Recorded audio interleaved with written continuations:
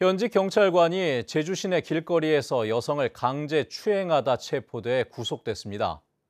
제주 동부경찰서는 지난 21일 새벽 4시 반쯤 제주시청 근처 길거리에서 20대 여성을 강제 추행한 혐의로 서귀포 경찰서 소속 30대 경찰관을 구속했습니다. 해당 경찰관은 지난 4월에도 동료 여경을 추행한 혐의로 직위가 해제된 상태에서 범행을 저지른 것으로 드러났습니다. 제주경찰청은 징계위원회를 열어 해당 경찰관에 대한 징계 수위를 결정할 예정입니다.